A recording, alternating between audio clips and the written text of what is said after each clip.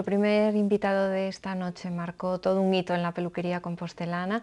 Yo creo que una forma nueva de abordarlo. Él es Óscar Aramburu y hoy está con nosotros para repasar todos esos años que pasó en Compostela y hablarnos de su actual trabajo en producciones del audiovisual. Buenas noches, Óscar. Buenas noches, Ana. Estoy encantado de estar aquí contigo en este programa. Bueno, todo el mundo que me conoce sabe que yo estoy encantado de estar contigo aquí en este programa. A Oscar que lo recuperamos para nuestra gala Elegantes 2014 y le dijimos, vente a entregar un premio. ¿Cómo viviste esa noche, Oscar? Pues fue una noche muy especial, porque yo hacía mucho tiempo que, que no pisaba Compostela, las cosas como son. De andar para arriba, para abajo con los, con los proyectos. Yo vivo en La Coruña y, y, la verdad es que la noche, la noche esa fue muy especial. Vi mucha gente que hace mucho tiempo que no veía y la verdad es que fue muy bonita. El, el sitio es, es impresionante.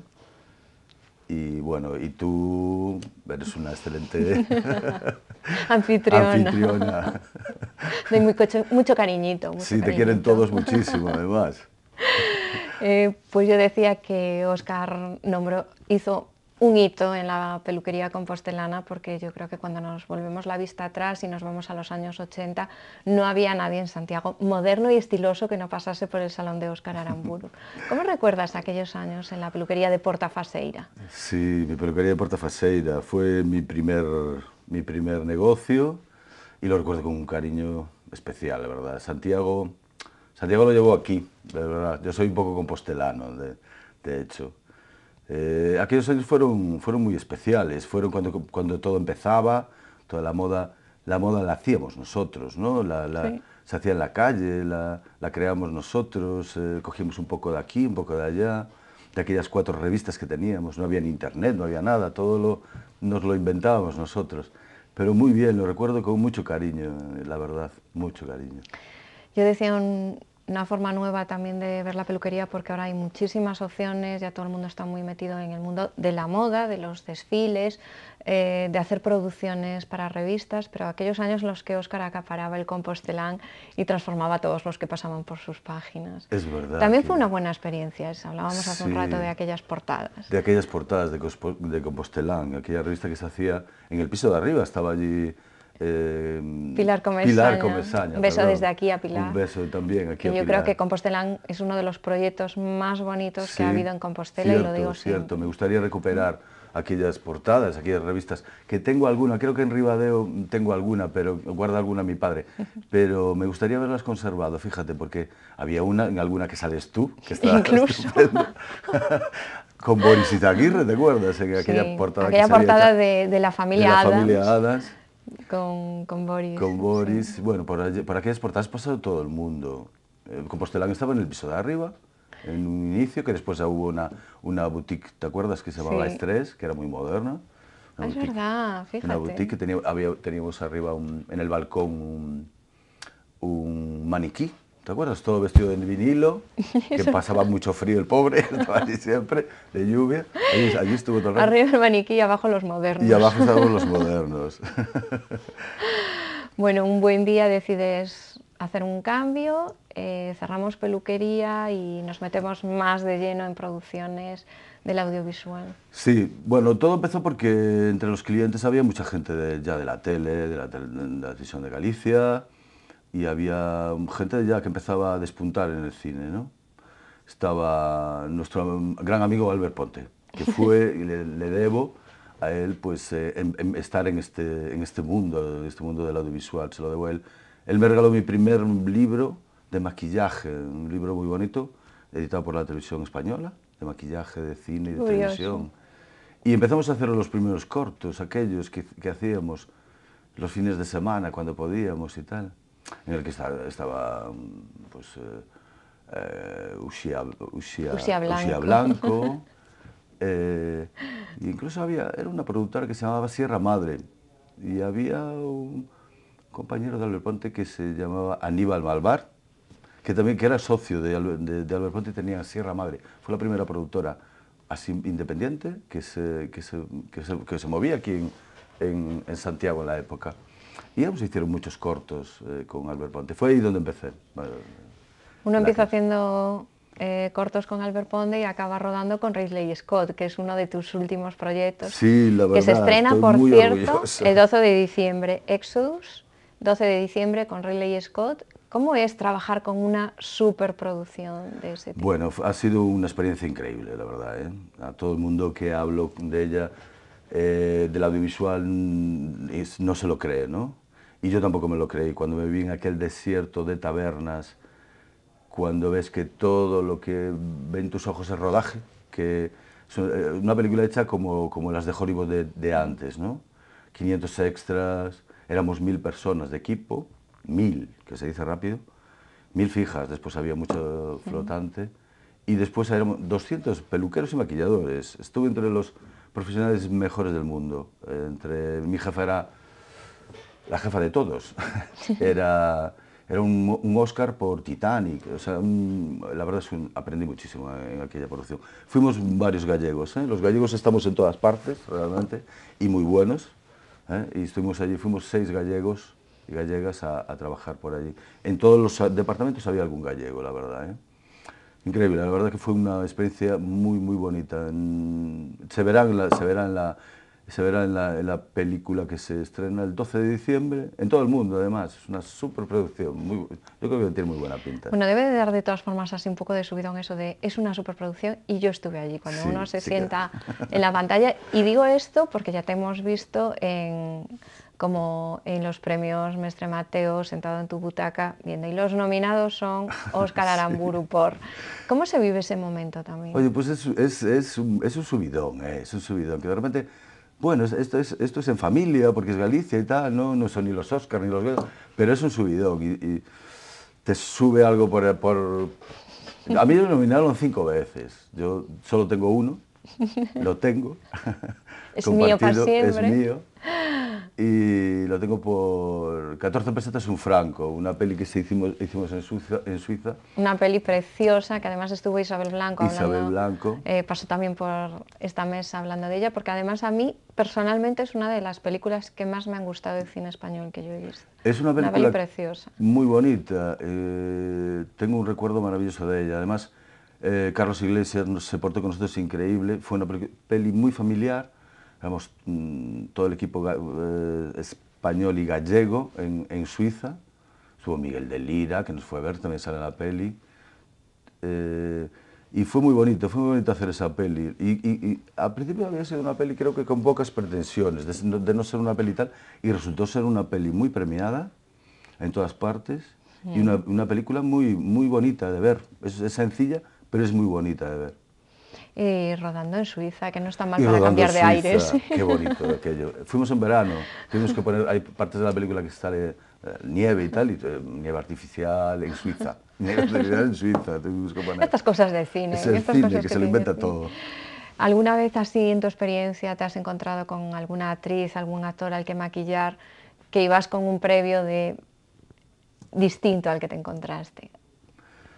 ¿Cambia mucho a tú que estás tan metido en el audiovisual y que pasan por tus manos? Eh, ¿Quieres decir como persona? Quiero decir como físico, como puro físico. Y duro. Hombre, sí, hay gente que, que realmente el maquillaje le da su, su, su, expresión toda, ¿eh? O sea, hay gente que se que realmente si no están arreglados no son el personaje, que no son el personaje que vemos nosotros en, en, en la pantalla, ¿no? Eh, no, no, sé si darte nombres. ¿A quién te ha gustado mucho maquillar, por ejemplo? Bueno, yo... Te lo sacaré después en maquillaje, pero ¿a quién te ha gustado mucho maquillar? Eh, bueno, he estado... A ver, mm, yo en las producciones he hecho peluquería y maquillaje, ¿no? Eh, pero he hecho más de peluquero. Lo de maquillaje lo he hecho lo, lo, lo, he ampliado con el tiempo, ¿no? Porque lo mío siempre ha sido más la peluquería, ¿no? Entonces, pues bueno, he visto, he estado con mucha gente, ¿no? En, española, sobre todo, ¿no? Mis primeros inicios fueron en, en, Lluvia de Estrellas. ¿Te acuerdas de aquel programa de Lluvia de Estrellas que, conocimos todos? En aquella puertita que había. Pues yo estaba detrás de aquel humo, retocando aquellos que, y ahora fulanita se va, a, se, va a convertir en tal, ¿no? Pues bueno, no sé, he tenido, he tenido gente que me ha gustado mucho maquillar. No sé, he trabajado también con, con nuestra amiga Ana Bregón, también. Ahí no la maquillaba yo, solo la peinada. ¿Qué tal, Ana Bregón? Ana Bregón es una persona... Es una persona tan controvertida en nuestra mesa de corazón, con la mitad de la mesa queriéndola y la mitad odiándola. Eh, yo, yo, yo he tenido buena experiencia con ella, tengo que decirlo. ¿eh? Mm. Mm, ha tenido, se ha portado muy bien con, con, el equipo y siempre trabajando muy bien, muy bien. Una, tiene sus, sus cosas especiales porque es una mujer muy especial.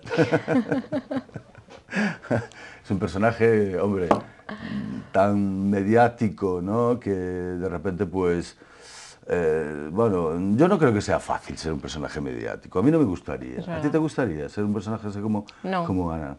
Tú con tu Ana estás bien. Yo con mi Ana estoy estupenda.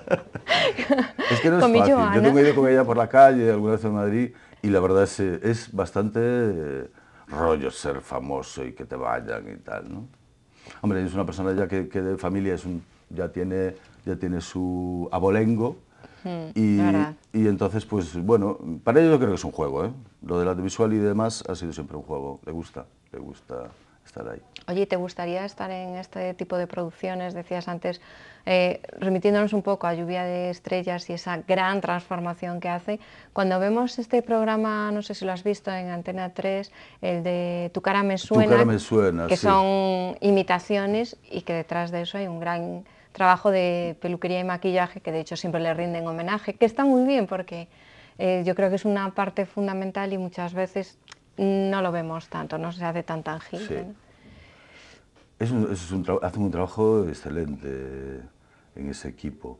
Yo creo que también hay gente de, aquel equipo anterior, de, mm, o sea, son descendientes del equipo mm, de, de, Lluvia de Estrellas, perdón, de Lluvia de Estrellas.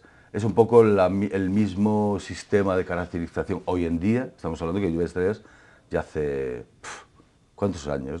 No sé, vamos a dejarlo, 15, que nadie eche cuenta. Bueno, muchísimos, muchísimos años.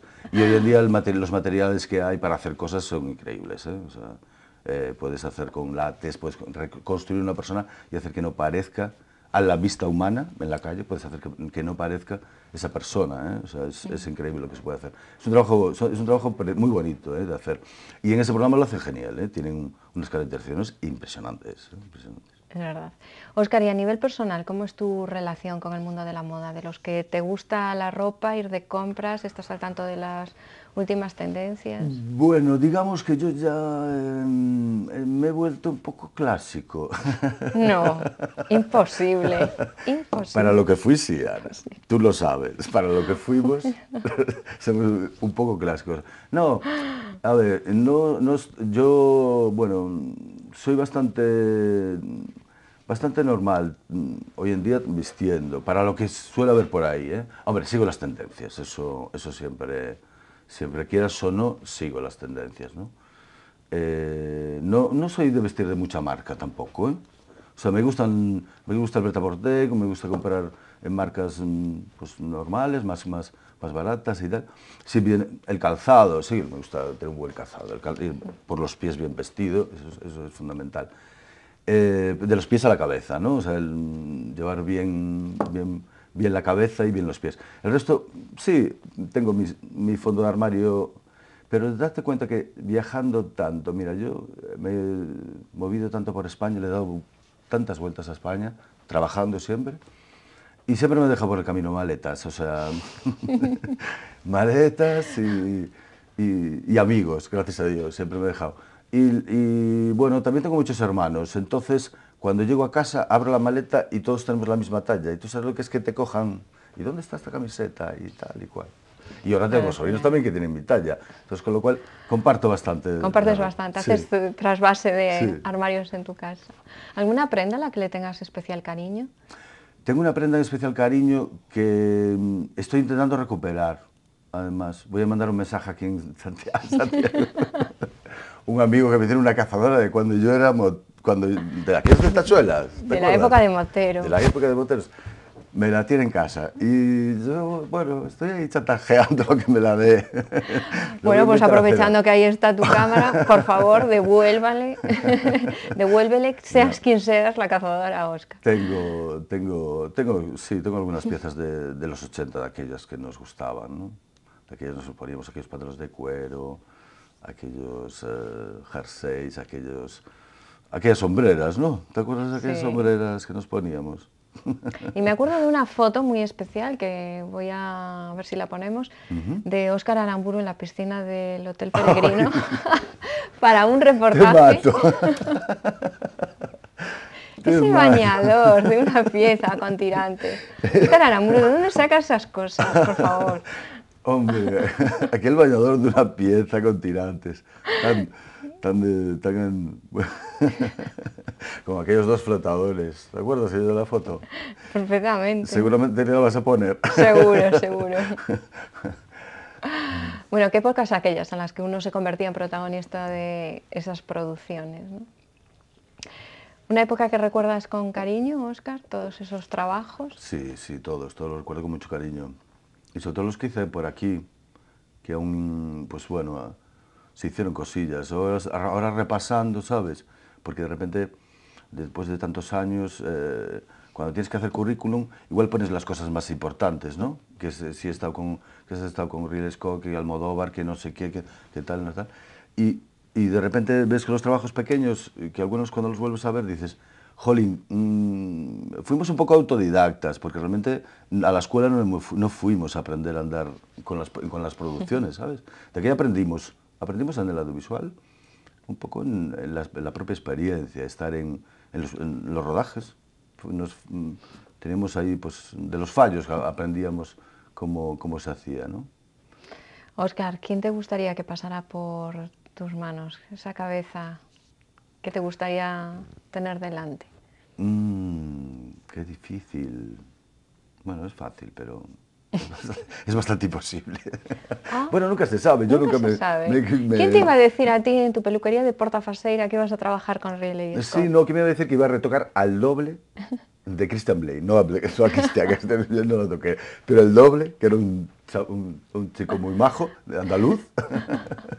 Pues lo retoqué, lo retoqué él. No sé, bueno, yo tengo alguna actriz así en especial. Mira, me pasé muchas ganas de, ver, de ver a Sigourney Weaver en, esta película, que no la llegué a ver porque estábamos... Eh, había unos sets eh, eh, que eran inmensos y cada uno estaba en unas partes, te repartían, ¿no? Y me, me, quedó ganas de conocer, tengo una gran admiración por esta mujer, ¿no? Me, quedó, me quedaron muchas ganas de, tenerla, de verla, de tenerla cerca y de haberla maquillado, me hubiese encantado. ¿eh?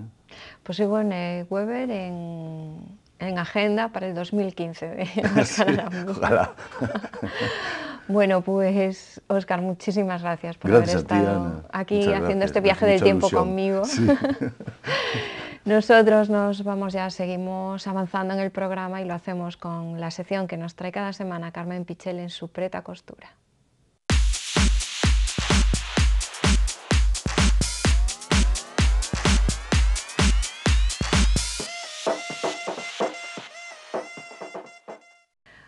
Carmen Pichel, buenas noches. Buenas noches, buenas y un poquitico cargadas de trabajo. Vienen las noches. Bueno, pues a ver, ¿en qué vamos a trabajar hoy?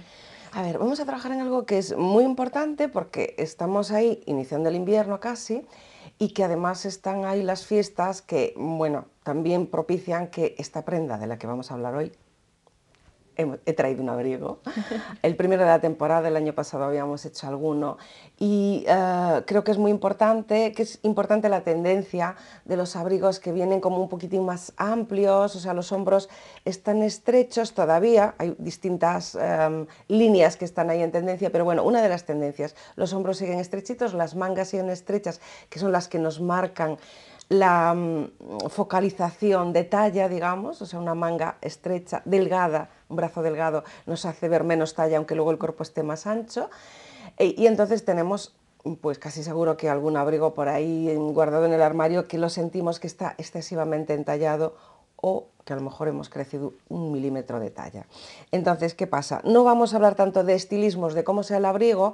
Bueno, en este caso pues tenemos un abrigo que tiene muchas costuras, pero bueno, vale cualquier abrigo, ¿no? Sino el cómo hacerlo. Entonces lo que vamos a hacer aquí a trabajar es un poco de texturas, cambiamos la línea, eso, el súper entallado por un menos entallado, más relajado, como más confortable. Y lo que vamos a hacer es un poco lo mismo que hicimos la semana pasada con la falda, que es anchear en las costuras laterales. Bien, pues eso mismo lo vamos a hacer en este abrigo. Entonces, ¿qué hacemos? Bueno, lo que decía, tenemos un abrigo que tiene muchísimas costuras, entonces lo que vamos a hacer es un costadillo aprovechando más o menos los anchos de esas costuras, pues hacer lo mismo. Si no tuviera tantas costuras, pues lo que podemos hacer es lo mismo, mm, pero haciendo un costadillo francés, que un poco los entendidos en materia saben lo que es un costadillo francés. Y para los que no entiendan tanto, pero que ahora todo el mundo se está metiendo en el tema de la costura, por lo interesante que es a la hora de que nos relaja muchísimo, que es ah, muy creativo, que es muy interesante, o sea, que estamos volviendo ahí. Entonces, bueno, un poco también lo de hoy, nuestro preta costura, está un poco también para las no iniciados las no iniciados, no me he equivocado, o sea, para todos. Hay muchos chicos que se están apuntando a todo esto. Mira qué bien. Claro, sí, sí, es que es fenomenal porque los que están probando me están llegando muchas... Em, Em, cosas de gente que está iniciando mm, sus primeros pasos en la costura y entonces, bueno, pues lo agradable que es, lo bien que se lo pasan y que el estrés un poco le llega con los acabados.